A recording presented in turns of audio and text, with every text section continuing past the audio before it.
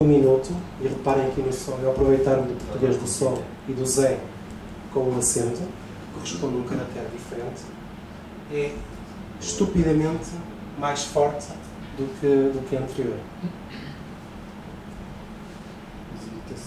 Tiveste espaço em branco ainda mais. Se for mesmo uma frase com espaço em branco, ainda aumenta mais. E ainda aumenta mais. E, e poderemos ter vantagens, porque de facto, em alguns, na, de alguns eixos, existem alguns caracteres que de facto não passam para lá. Portanto, mesmo em programas de, de, de força bruta, existem alguns caracteres que eles não conseguem tratar. Por exemplo, um deles clássicos é o barra de espaços. Não o barra de espaços, mas o alto 255. Pronto. Existe muita aplicaçãozinha de força bruta que não consegue, não consegue gerar isso.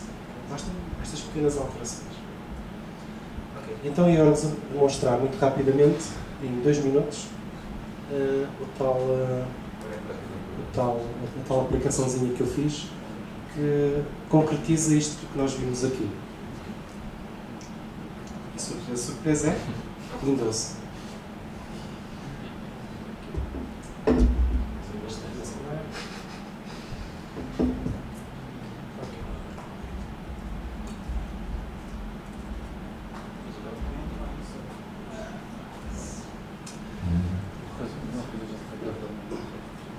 Porquê é que eu vou usar o Notepad? Primeiro, não, não tem aqui o VI deste lado.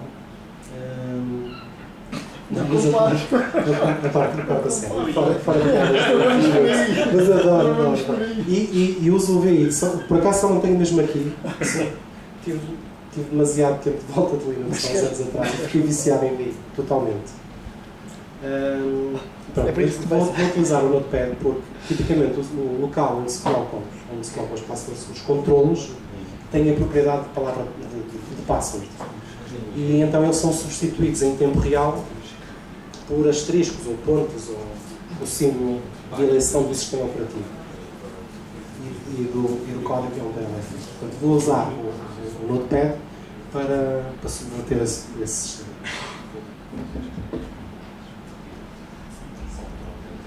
Isto é, isto é só um teste. Olá.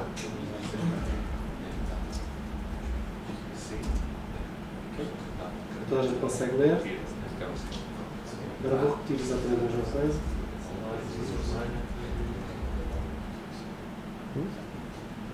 O que é que, o que, é que fiz aqui?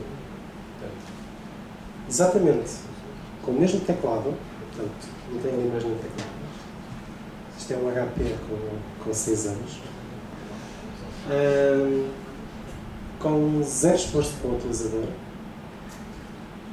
consegui converter uma coisa que vamos imaginar que a palavra passar aquela, olá, eu sou o Jorge, sem enter, ok? Ahm, utilizando exatamente os mesmos, a mesma sequência de teclas, mapeei-as em tempo real para um outro, para um outro resultado diferente. Em que nesse resultado estou a fazer duas coisas. Estou a aumentar o comprimento e estou a alterar o conjunto de caracteres usados. Portanto, estou a usar as duas coisas que foram mostradas, as, as duas propriedades que foram mostradas aqui, eh, que se sabe que aumentam, eh, aumentam a força de uma palavra passe. Quero fazer um Eh, qual é que é o algoritmo? O algoritmo. Como é que isso é gerado? Como é que isso é gerado? Isso é uma coisa minha. Ok, aquela Vamos- falar depois Em para- criptografia há, uma, há um bom princípio que é eh, o sistema criptográfico, o algoritmo tem que ser público escrutinável, não é? Certo, mas isto, isto não tem nada a ver com criptografia. Não tem, está a gerar uma. eh, se vai usar esta password no- noutro sítio, se eu sei que vai usar este tipo de coisas, Sim. eh, onde, é, que- onde é que guarda esta informação? É assim, hum, esta informação é para estar na cabeça da pessoa. Portanto, Não, não, não, isso. eh, eh, Imagina que eu sei qual é o seu algoritmo. E eh, por acaso até fiz download da base de dados do LinkedIn das passwords. Mas eu- Eu faço um programinha, eh, fazer um ataque de dicionário Olá, eh, usando o seu algoritmo e em poucos segundos consigo encontrar a- a- aquela password. correto. Que tem mais de 10 caracteres ou 20, ou isso. Certo, certo, certo. Se houver um algoritmo, claro. Certo, mas eh, essa, essa parte não é conhecida, ok? Portanto, também não estou aqui a dizer que isto é segurança por, eh, por obscuridade, nem nada que se pareça. É é substituição. Mas já tem uma chave? Se tiver uma chave? Sim, não, mas cada, da, da forma, da forma como isto está construído é cada utilizador tem o seu próprio, o seu próprio algoritmo. Isto é, Portanto, tem uma, uma é, senha... É, é pseudo-aleatório por utilizador. Ok, pronto. Isso é suficiente para, se tiver um nonce para cada utilizador? Sim, não, não, não, não. Isto é, pseudo-aleatório é único por cada pessoa. Totalmente único. Não há dois, não há dois mas, iguais. Mas se é único por pessoa, como é que a pessoa... O nosso aleatório. Como é que desculpa? Não, mas como é que usas aquilo em múltiplos sistemas? Aquela pessoa é sempre a mesma password. Mas vais logo ao fundo. Como é que transportas esse, teu seed para, para outro sistema para? Este instalar está a fazer. O sistema que fez o armazenamento teve que converter isso em qualquer coisa. Quem é que faz o, o controle do armazenamento? Isso, é assim, isto, isso depende, depende do serviço onde está a usar. Se isto, se, isto, se isto for, por exemplo, usado no LinkedIn, já sabemos qual é o algoritmo que eles usaram é? e como é que eles colocaram na base de dados. Eu vejo isto como. Eu sei, eu, isto é uma coisa que eu sei, é convertida numa, numa hash que, desenvolvida por, por si, pelo Jorge, e que depois é enviada através dos canais normais, com um protocolo qualquer, e é convertido em qualquer coisa. E vamos continuar a... Na prática, eu escrevi Olá, eu sou o Jorge. E, e isso, convertido, vai produzir o que é em termos de benefício. É assim, vai fazer uma coisa que, para o utilizador, não por exemplo eu, mas por exemplo para o meu filho, vamos imaginar que esta é a palavra dele, Olá só. Sim. Provavelmente gosta de palavras passos mais curtas. O simples Olá dele não é o verdadeiro Olá. Portanto, eu consigo abstraí-lo não pode, não pode. Não pode. Passa, passa com a mão linha de baixo. Passa com a mão linha de baixo. Quem consegue ver aí. Já há ali umas coisas. Ali. A palavra passe dele, por exemplo, vamos imaginar que ele estava no LinkedIn e passar a ser em, fecha parênteses curvos, QO, abre parênteses curvos, ponto de exclamação é igual, ponto de interrogação, porcentagem, é mais o P, o P, o P, ser sucesso invertido é o E. O DP, aliás, o FDP. É assim, eu, eu, eu depois é. posso, fora, fora esta sessão, fora esta sessão, depois posso. Mas é, é. é assim, o FDP, ser sucesso invertido é o E. O O, portanto, é o E. É o E. É assim. E o T, é assim, existe, existem aqui algumas particularidades disto que tenho todo o gosto em, em discutir. Só respondendo à pergunta, assim, a vantagem é a abstração do utilizador final. Era importante era esclarecer aqui um ponto, que é como é que depois eu uso em múltiplos sistemas. Vamos imaginar que eu estou a usar, no, portanto, tenho a aplicação num computador e ele produz aquele resultado. Tu disseste que havia uma espécie de um seed que era inicializado por utilizador, era? É isso? O utilizador há que, sim, tem, sim. Portanto, um ao lado do, do Pedro não é igual ao lado do Jorge. Exatamente, são os dois diferentes. Pronto. Agora, como é, como é, que, eu, como é que eu meto isto noutro sistema, noutra máquina? Uh, e, e...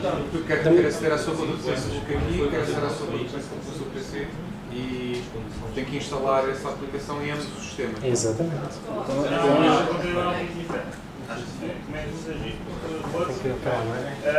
Pois, tá, precisas de aceder, estás, estás num sítio qualquer e queres aceder. A... Não podes.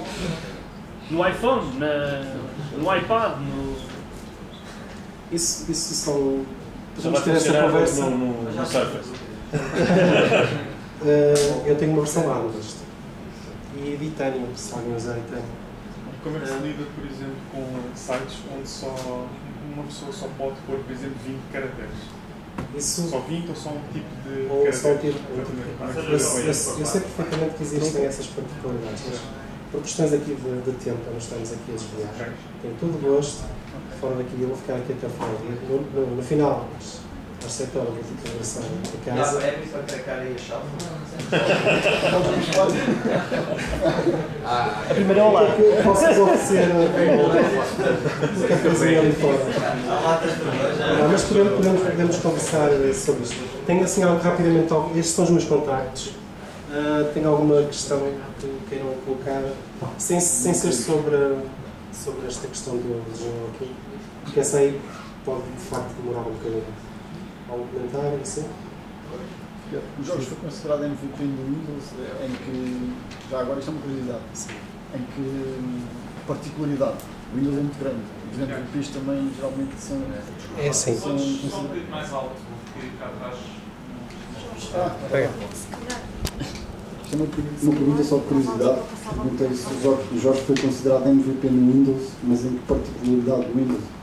É assim, para, para a Microsoft eh, existem. Existem. eh, o Windows está mais ou menos dividido da seguinte forma: temos a parte servidor e a parte cliente. Dentro da área de servidor eh, está basicamente dividido por papéis, o que hoje em dia se roles. Do lado do cliente está dividido por, eh, por home user e enterprise user, digamos assim. Eu estou na parte de enterprise, Mas, desde 2004. mas não, especificamente foi em tecnologia. Em tecnologia do Windows? Windows, Sim. eh, na altura a tecnologia era Windows XP. Portanto, era, era o sistema operativo da, da moda. Não, não, não, não. Estou, estou aqui só a situar, eh, estou aqui só a situar a altura. Da altura, o sistema operativo da moda, o corrente era o XP. Falava-se do Longhorn, né? mais tarde ia ser o Vista.